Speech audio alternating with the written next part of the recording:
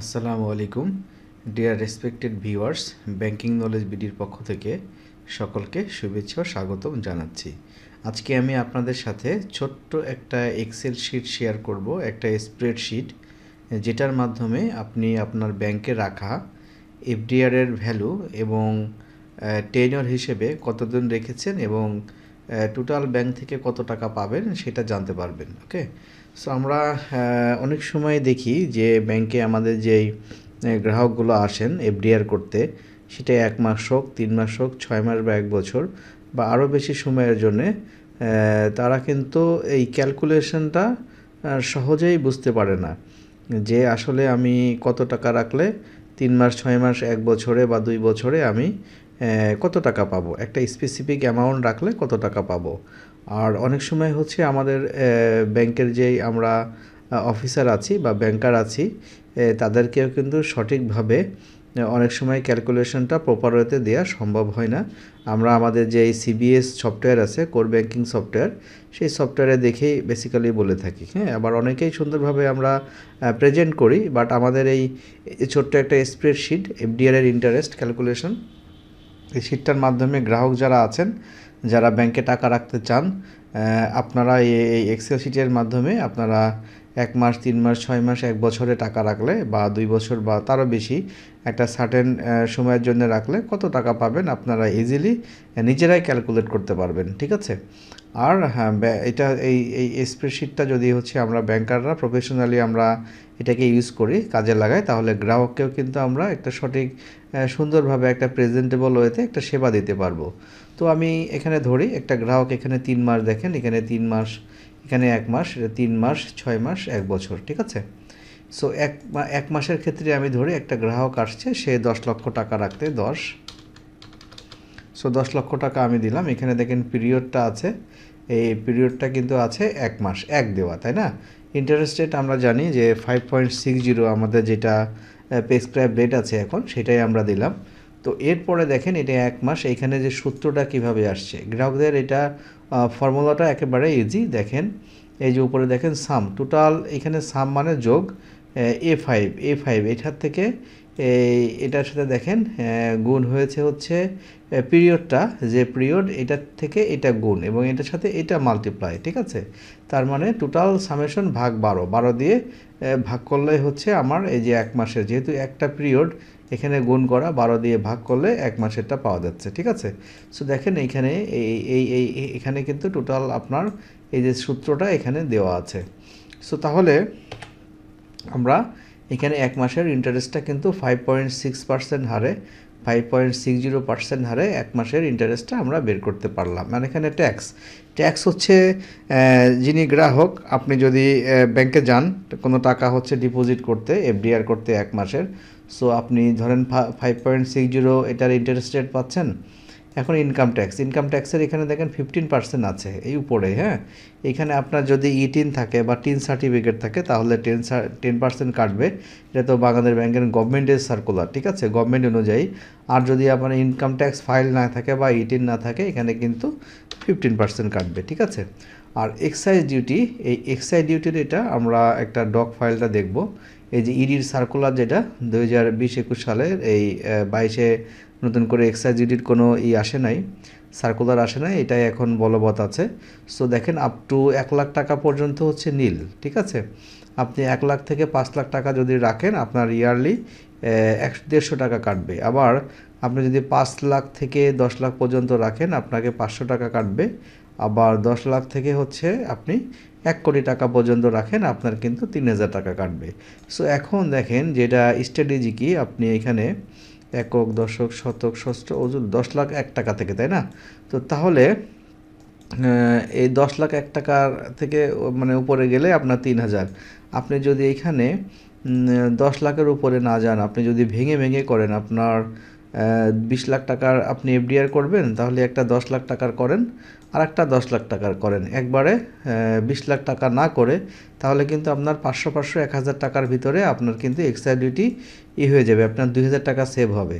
আপনার, আমার মনে হয় যে মেসেজটা আপনারা বুঝেছেন, আমি আরেকবার বলি, আপনারা সেপর ব্যাংকে বিশ লাখ টাকার একটা এফডিআর করবেন, তো এ দেখেন এখানে দশ লাখ এক থেকে এক কোটি পর্যন্ত তিন হাজার টাকা গভর্নমেন্টের এক্সাইজ ডিউটি আছে। সেক্ষেত্রে আপনারা করেন, আপনারা হচ্ছে দশ লাখ টাকার একটা করেন, আর একটা হচ্ছে দশ লাখ টাকার করেন, দুইটা করেন ভেঙে ভেঙে, তাহলে আপনাকে পাঁচশো পাঁচশো, এক হাজার টাকার ভিতরেই আপনার কিন্তু ইডি কাভার হয়ে যাবে। আমরা যদি এইদিকে একটু সচেতন হই, তারপরে দেখেন এখানে তিন হাজার টাকা, আবার এখানে এক কোটি থেকে পাঁচ কোটি পর্যন্ত পনেরো হাজার টাকা এবং পাঁচ কোটির উপরে গেলে আপনার হচ্ছে চল্লিশ হাজার টাকা হচ্ছে excise duty so huge amount কিন্তু গভর্নমেন্টকে আমাদেরকে ব্যাংকিং ইন্ডাস্ট্রির মাধ্যমে গভর্নমেন্ট হিউজ অ্যামাউন্ট হচ্ছে পায়, আপনার রেভিনিউ আর্ন করে। তো আমরা, আমরাও হচ্ছে গ্রাহক যারা আছি, আমরা যদি একটু সচেতন হই আমরা এই স্ল্যাবটা আপনাদের অবশ্যই রাখা উচিত। আপনারা যখন ব্যাংকে ডিপোজিট করবেন, এটা এক্সাইজ ডিউটি সম্পর্কে আপনাদের জানা উচিত। তো এটার এই আবগারি শুল্ক, এটার হচ্ছে ডেবিট ক্রেডিট স্থিতির পরিমাণ, এটাও বাংলাতেও করা আছে, আমি এখানে দেখিয়েছি। সো এখন দেখেন এইখানে আপনার দশ লাখ টাকা, তাই না? সো এই, এইখানে আমরা যখন হচ্ছে ই যাচ্ছি ক্যালকুলেশনে যাচ্ছি সো দশ লাখ টাকারই এখানে আমরা ইডিটা পাঁচশো টাকা বসালাম, ঠিক আছে?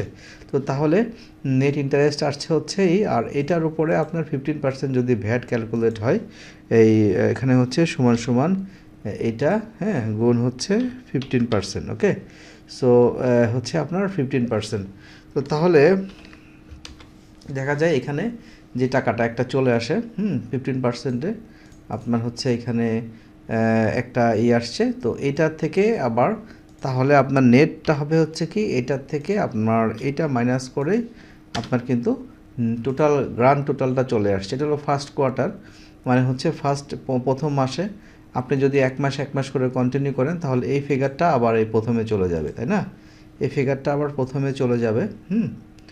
যাবে, যাওয়ার পরে হচ্ছে আপনার এই এক এইসের সাথে কিন্তু এটা যোগ হবে, যোগ হয়ে তারপরে আসবে ওকে সো এইখানে দেখেন এই যে হ্যাঁ এখানে হচ্ছে এটার সাথে যোগ হয়ে এই যে ইন্টারেস্টটা ইন্টারেস্ট যেটা আপনি পাবেন, সেটা কিন্তু যোগ হয়ে তারপরে এভাবে করে কিউমিউলেটিভভাবে আসবে ওকে সো এইটা হচ্ছে এক মাস, তিন মাসের ক্ষেত্রেও কিন্তু সেম সূত্র হচ্ছে বা ফর্মুলা হচ্ছে সেম থাকবে এখানে।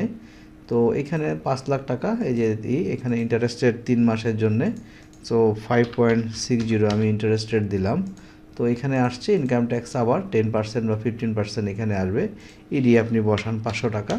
এবং এই যে টাকাটা আসবে নেট ইন্টারেস্টটা এখান থেকে ফিফটিন পার্সেন্ট আপনার হচ্ছে ভ্যাট ফিফটিন পার্সেন্ট হচ্ছে এখন ভ্যাট ভ্যাট হচ্ছে ফিফটিন পার্সেন্ট মাইনাস হয়ে এখানে আপনার পাবেন।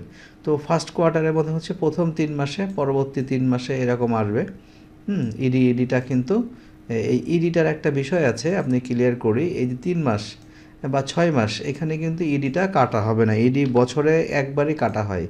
এক্সাইজিটি কিন্তু ইয়ারলি হবে ওকে আপনি এই, আপনি তারপরে এখন একটা, আপনি যখন একটা তিন মাসের একটা ই নিচ্ছেন প্রোডাক্ট নিচ্ছেন বা এফডিআর নিচ্ছেন, আপনি যদি তিন মাস পরে ক্লোজ করে ফেলেন, তাহলে কিন্তু ক্লোজের সময় আবার এগুলো কাটা যাবে। আর যদি ক্লোজ না করেন, সেটা যদি তিন মাস পর পর রিনিউ হয় রিনিউ করেন বা অটো রিনিউ সিস্টেমে ব্যাংকে ডিপোজিট করেন, তাহলে ইয়ার এন্ডে যে, বছর শেষে যে আপনার কিন্তু এক্সাইজ ডিউটি কাটবে এক্সাইজ ডিউটি কিন্তু ইয়ারলি ঠিক আছে গভর্নমেন্টের তো এইভাবে করে দেখেন, এখানে ফার্স্ট কোয়ার্টারে আসছে। তো এখানে হচ্ছে ফিফটিন পার্সেন্ট ভ্যাট আসবে। অবশ্যই আগের সূত্রের মতো ভ্যাটটা এখানে আপনার যে সমান সমান দিয়ে এইখানে আপনারা ভ্যাট নিজেরাই ক্যালকুলেট করতে পারবেন। যে টাকাটা এখানে আসছে তার হচ্ছে fifteen percent okay fifteen percent VAT. তো তারপরে এটা মাইনাস হয়ে চলে আসলো। এই ফিগারগুলো এখন এই ফিগারটা এই যে দেখেন, এই পাঁচ লাখ পাঁচ, এটা প্রথমেই আবার আবার পরবর্তী তিন মাসের জন্য। এইভাবে করে যদি আপনি এক বছর হিসাব করেন যে ফার্স্ট ইয়ার প্রথমে এক, দুই, তিন, চার কোয়ার্টার এখানে হচ্ছে আপনার পাঁচ লাখে চব্বিশ হাজার সামথিং পাচ্ছেন। আবার সেকেন্ড কোয়ার্টার থার্ড কোয়ার্টার মানে এখানে হচ্ছে এক বছর এক বছর করে, ঠিক আছে? এখানে এক বছর, এখানে এক বছর এভাবে করে আপনি দেখেন নিজেরাই ক্যালকুলেট করতে পারছেন। আপনারা আপনারা কত টাকা ব্যাংকে রাখলে কত টাকা পাবেন এফডিআর এর ক্ষেত্রে, ঠিক আছে? আর আপনার ব্যাংকার হিসেবে আমরা কিন্তু এই এক্সেলটা থাকলে ক্লায়েন্টকে খুব সুন্দরভাবে প্রেজেন্টেবল হইতে তাদেরকে আমরা বোঝাইতে পারব, সেবা দিতে পারব। ঠিক ছয় মাসে হচ্ছে একইভাবে সূত্র হচ্ছে এখানে, এই যে এটা এইখানে যখন ইন্টারেস্টটা ক্যালকুলেট হবে, এটার সাথে এটা গুণ, এটার সাথে এটা গুণ, ঠিক আছে? গুণ হয়ে টোটাল সামেশন হচ্ছে আসবে এবং যেহেতু ছয় মাসের, আমরা বারো দিয়ে ভাগ করব, ঠিক আছে? টোটাল বারো দিয়ে ভাগ করব, এখানে সামেশন তারপরে ব্র্যাকেট ফার্স্ট ব্র্যাকেট দিয়ে এটা গুণ এটা গুণ, এটা, তারপরে হচ্ছে এই বারো দিয়ে ভাগ মানে এই, এখানে হচ্ছে আপনার সি এখানে হচ্ছে পার্সেন্টেজ মানে এখানে ইন্টারেস্ট হচ্ছে আপনার ফাইভ পয়েন্ট সিক্স ধরলাম আমি আবারও। এখানে আমার ইন্টারেস্ট রেটটা জাস্ট আপনাকে চেঞ্জ করে নিতে হবে যে কত পার্সেন্ট ইন্টারেস্ট ব্যাঙ্ক আপনাকে দিচ্ছে। যদি ছয় পার্সেন্ট দেয়, তাহলে এনে সিক্স পার্সেন্ট বসায়। আপনারা কিন্তু যে ইনকাম ট্যাক্স এখানে ফিফটিন পার্সেন্ট আছে, আপনাদের এইটিন থাকলে এখানে টেন পার্সেন্ট কাটবে। ওকে আর এক্সাইজিডিটা তো ইয়ারলি এটা হচ্ছে ইয়ারলি চার্জ হবে, ঠিক আছে? আর এইখানে হচ্ছে ফিফটিন পার্সেন্ট ভ্যাট, এখানে হচ্ছে ফিফটিন পার্সেন্ট ভ্যাট মাইনাস হবে ওকে সো এইভাবে করে আমরা এক বছরেও আমাদের সেম ফর্মুলা বেসিক্যালি সেম একটা বুঝলে প্রত্যেকটাই বুঝবেন।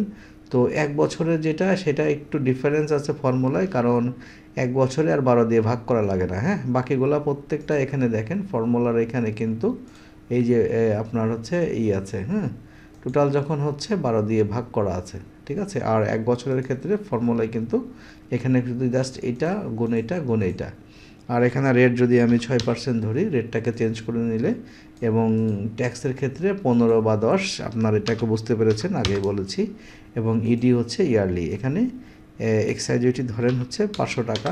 হ্যাঁ যে যে স্ল্যাবটা আমি দেখিয়েছি এক্সাইজ ডিউটির এই স্ল্যাব এই স্ল্যাব অনুযায়ী আপনার এক্সাইজ ডিউটি হিসাব করতে হবে।